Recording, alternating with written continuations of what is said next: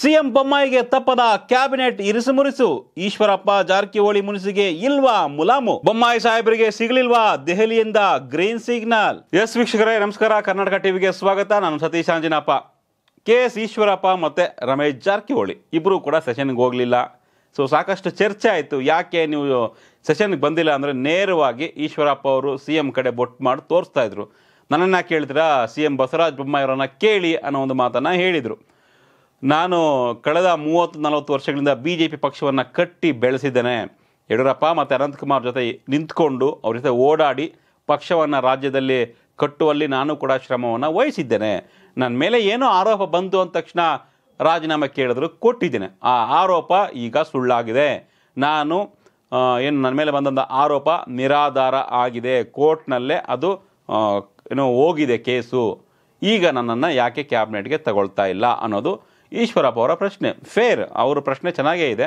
So C M Basavaraj ಬೊಮ್ಮಾಯಿಯವರು ಇದಕ್ಕೆ ಉತ್ತರವನ್ನು ಕೊಡಬೇಕಿತ್ತು, ಕೊಡಲಿಲ್ಲ. ಅವ್ರನ್ನ ಕೇಳಿದ್ರೆ ನಾನು ದೆಹಲಿಗೆ ಹೋಗಿದ್ದೆ, ಇತ್ತೀಚೆಗಷ್ಟೇ ದೆಹಲಿಯಲ್ಲಿ ಈಗಾಗಲೇ ಮಾತಾಡಿದ್ದೀನಿ. ಒಂದು ರೀತಿ ಭರವಸೆಯನ್ನು ಕೊಡುವಂಥ ಚಾನ್ಸ್ ಇದೆ.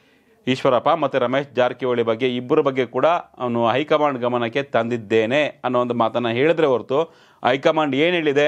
ಅವರನ್ನು ಸಂಪುಟಕ್ಕೆ ಸೇರಿಸ್ಕೊಬೇಕಾ? ಬೇಡವಾ? ಹೈಕಮಾಂಡ್ನಿಂದ ಗ್ರೀನ್ ಸಿಗ್ನಲ್ ಸಿಕ್ಕಿದೆಯಾ? ಅಥವಾ ರೆಡ್ ಸಿಗ್ನಲ್ ಸಿಕ್ಕಿದೆಯಾ? ಬೇಡ ಬಿಡ್ರಿ ಎಲೆಕ್ಷನ್ ಇನ್ನೊಂದು ನೂರು ದಿನ ಇದೆ, ಯಾಕೆ? ಮೊನ್ನೆ ಅಷ್ಟೇ ಬಿ ಎಲ್ ಸಂತೋಷ್ ಹೇಳ್ತಾ ಇದ್ರು, ಈ ನೂರು ದಿನ ಎಲೆಕ್ಷನ್ ಅನೌನ್ಸ್ ಆಗುತ್ತೆ ಅಂತ. ಈ ನೂರು ದಿನಕ್ಕೆ ಯಾಕಪ್ಪ? ಸಚಿವ ಸಂಪುಟ ವಿಸ್ತರಣೆ, ಪುನರ್ರಚನೆ, ಪೋರ್ಟ್ಫೋಲಿಯೋಗಳು ಬದಲಾವಣೆ, ಗೊಂದಲ. ನೂರು ದಿನ ಅಂದರೆ ಒಂದು ಮೂರು ತಿಂಗಳಷ್ಟೇ. ಮೂರು ತಿಂಗಳಿಗೆ ಏನು ಖಾತೆಗಳು ಬದಲಾವಣೆ ಮಾಡಿ, ಅವ್ರಿಗೆ ಇವ್ರ ಖಾತೆ ಹಂಚಿ, ಇವ್ರಿಗೆ ಅವ್ರ ಖಾತೆ ಹಂಚಿ, ಯಾಕೆ ಗೊಂದಲ? ಏನೋ ಒಂದು ಆಗುತ್ತೆ ಮೂರು ತಿಂಗಳಲ್ಲಿ. ಏನು ಮಹಾ ಸಾಧನೆ ಆಗಿಬಿಡುತ್ತೆ, ಕಳೆದ ಮೂರುವರೆ ವರ್ಷದಲ್ಲಿ ಆಗದೆ ಇರೋದು, ಇನ್ನು ಮೂರು ತಿಂಗಳು ಮಾಡಿಬಿಡ್ತಾರಾ ಇವರು? ಅನ್ನೋ ಒಂದು ಅಸಡ್ಡೆ ಕೂಡ ಇರಬಹುದು. But C M Basavaraj Bommai ಅವರಿಗೆ, ಈಶ್ವರಪ್ಪ ಅವರ ಮಾತುಗಳು, ರಮೇಶ್ ಜಾರಕಿಹೊಳಿ ಅವರ ಅಬ್ಸೆಂಟ್ ಒಂದು ರೀತಿ ಅದಕ್ಕೆ ಮುಲಾಮನ್ನು ಹಚ್ಚೋದಕ್ಕೆ ಆಗ್ತಾ ಇಲ್ಲ. ರಾಷ್ಟ್ರೀಯ ಮಾಧ್ಯಮಗಳಲ್ಲೂ ಕೂಡ ಇದು ದೊಡ್ಡ ಮಟ್ಟದಲ್ಲಿ ಸುದ್ದಿ ಆಯಿತು. ಏನು ಹಿಂಗಾಗ್ತಿದೆ ಕರ್ನಾಟಕದಲ್ಲಿ ಒಂದು ರೀತಿ ರಾಜಕಾರಣದ ನಾಟಕ ಮತ್ತು ಶುರುವಾಗ್ತಿದೆ. ಎಲ್ಲದಕ್ಕೂ ಅಷ್ಟು ನಾಟಕ ನಾಟಕ ಅಂತ ಬಳಸ್ಬಿಡ್ತಾರೆ. ಇಂಗ್ಲೀಷ್ ಮೀಡಿಯದ ಕರ್ನಾಟಕ ಕರ್ನಾಟಕ ಪೊಲಿಟಿಕಲ್ ನಾಟಕ. ಹಾಂ ಈಶ್ವರಪ್ಪ ನಾಟಕ, ಹೀಗೆ ನಾಟಕ ನಾಟಕ, ಯಾರೋ ಒಬ್ಬರೋ ಇಬ್ಬರೋ ಮಾಡೋದಕ್ಕೆ ಇಡೀ ಕರ್ನಾಟಕದ ಮಾನ ಮರ್ಯಾದೆಯನ್ನು ಹರಾಜು ಮಾಡ್ತಾರೆ. ಸೊ ನಾಟಕ ಅಂತ ಬಳಸಿ ಸೊ ನೋಡೋಣ ಇವ್ರೇನು ಮಾಡ್ತಾರೆ ಅಂತ. ಒಟ್ಟು ಈಶ್ವರಪ್ಪ ಅವರು ಸೆಷನ್ಗೆ ಹೋಗಲ್ಲ ಅಂತ ಪಟ್ಟು ಹಿಡ್ದವ್ರೆ ಸೊ ಬಿ ಜೆ ಪಿಗೆ ಒಂದು ರೀತಿ ಮುಜುಗರ. ಒಂದು ಏನು ಮಾಡಬೇಕು ಅಂತ ಗೊತ್ತಿಲ್ಲ. ಸಿ ಎಂ ಬೊಮ್ಮಾಯಿ ಅಂತೂ ಎಲ್ಲದಕ್ಕೂ ಕೂಡ ಹೈಕಮಾಂಡ್ ಹೈಕಮಾಂಡ್ ಹೈಕಮಾಂಡ್ ಡೈಲಿ ಅಂತ ಕೈ ತೋರಿಸ್ತಾರೆ. ಆಯ್ತು ಸಮಯ ದೆಹಲಿಗೆ ಅಷ್ಟೆಲ್ಲ ಹೋಗಿದ್ದಾರೆ? ಏನಾಗಿದೆ ಅಂತ ಹೇಳಿದ್ರೆ ಹೇಳಲ್ಲ. ರಾಜ್ಯ ರಾಷ್ಟ್ರೀಯ ನಾಯಕರನ್ನ ನಾನು ಭೇಟಿಯಾಗಿದ್ದೀನಿ. ಅವರಿಂದ ಬರಬೇಕು ಅಂದರೆ ಏನು ಬಂತು ಗೊತ್ತಿಲ್ಲ. ರಿಸಲ್ಟ್ ಏನಾಯಿತು ಗೊತ್ತಿಲ್ಲ. ಕಳೆದ ಸಾಕಷ್ಟು ದಿನಗಳ ಹಿಂದೆ ಮಾತಾಡಿದಾಗೆಲ್ಲೂ ಕೂಡ ಗುಜರಾತ್ ಫಲಿತಾಂಶದ ಬಳಿಕ ಸಂಪುಟ ಪುಸ್ತಕ ಏನೋ ವಿಚ ವಿಸ್ತರಣೆ ಆಗುತ್ತೆ. ಸಂಪುಟವನ್ನು ವಿಸ್ತರಣೆ ಮಾಡ್ತೀವಿ. ಕೆಲವೊಂದಿಷ್ಟು ಏನು ಬಾಕಿ ಇದಾವೆ, ಇನ್ನು ಅದನ್ನ ಸೇರಿಸ್ಕೊಳ್ತೀವಿ ಅನ್ನೋ ಒಂದು ಮಾತನ್ನು ಹೇಳಿದರು. ಬಂದು ಆಗೋಯ್ತು ಹನ್ನೆರಡು ಹದಿಮೂರು ದಿನ. ರಿಸಲ್ಟ್ ಬಂದು ಹದಿನೈದು ದಿನ ಆಯ್ತಾ ಬಂತು. ಆದರೂ ಕೂಡ ಯಾವುದೇ ರೀತಿಯ ಬೆಳವಣಿಗೆ ಆಗಿಲ್ಲ.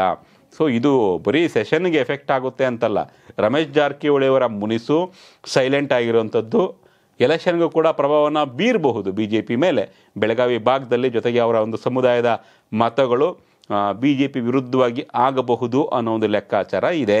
ಸೊ ಈಶ್ವರಪ್ಪ ಅವರಿಂದ ಎಷ್ಟು ದೊಡ್ಡ ಮಟ್ಟದಲ್ಲಿ ಪಾರ್ಟಿ ಕಳ್ಕೊಳ್ಳುವಂಥದ್ದೇನು ಇಲ್ಲ. ಆದರೆ ಡ್ಯಾಮೇಜ್ ಪಕ್ಷಕ್ಕೆ ಕಾರ್ಯಕರ್ತರಿಗೆ ಡ್ಯಾಮೇಜ್ ಇದರಲ್ಲಿ ಹಾಗೆ ಆಗುತ್ತೆ. ಈಶ್ವರಪ್ಪ ಅವರ ಒಂದು ಪ್ರಶ್ನೆಗಳಿಗೆ ಉತ್ತರ ಕೊಡೋಕ್ಕಾಗದೆ. ಸಿ ಎಂ ಬೊಮ್ಮಾಯಿ ಅವರು ಮಾಧ್ಯಮಗಳ ಮೇಲೆ ಎಗರಾಡ್ತಾರೆ ಗರಂ ಆಗ್ತಾರೆ. ಸೊ ಯಾಕೆ ಬೇಕೋ ಏನೋ ಒಟ್ಟಿನಲ್ಲಿ ಬಿ ಜೆ ಪಿಯಲ್ಲಿ ಎಲ್ಲವೂ ಸರಿ ಇಲ್ಲ. ಒಂದು ಕಡೆ ಜನಾರ್ದನ್ ರೆಡ್ಡಿ ಅವರು ಏನು ಮಾಡ್ತಾರೆ ಅನ್ನೋ ಕುತೂಹಲ ಇದೆ. ಡಿಸೆಂಬರ್ ಇಪ್ಪತ್ತೈದನೇ ತಾರೀಕು ಏನು ಘೋಷಣೆ ಮಾಡ್ತಾರಪ್ಪ ಅಂತ ಒಂದು ಕಡೆ ರಮೇಶ್ ಜಾರಕಿಹೊಳಿ ರೆಬಲ್ಲು, ಈ ಕಡೆ ಈಶ್ವರಪ್ಪ ಅವರು ಒ ಬಿ ಸಿ ನಾಯಕರು ಅವ್ರಿಗೆ ಮತ್ತೆ ಸಂಪುಟಕ್ಕೆ ಸೇರಿಸ್ಕೊಂಡಿಲ್ಲ ಅನ್ನೋ ಒಂದು ಬೇಸರ. ಒಟ್ಟಿನಲ್ಲಿ ಒಂದು ರೀತಿ ಎಲ್ಲವೂ ಕೂಡ ಯಾವ ಕಡೆ ನೋಡಿದ್ರು ಕೂಡ ಬಿ ಜೆ ಪಿಗೆ ನೆಗೆಟಿವ್ ಅನ್ನೋದು ಜಾಸ್ತಿ ಆಗ್ತಿದೆ. ಇದನ್ನ ಹೇಗೆ ಮ್ಯಾನೇಜ್ ಮಾಡ್ತಾರೆ? ವೆಯ್ಟ್ ಮಾಡೋಣ.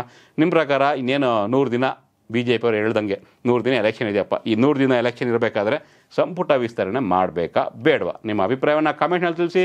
ವಿಡಿಯೋ ಇಷ್ಟ ಆದರೆ ಸಬ್ಸ್ಕ್ರೈಬ್ ಮಾಡಿ. Thank you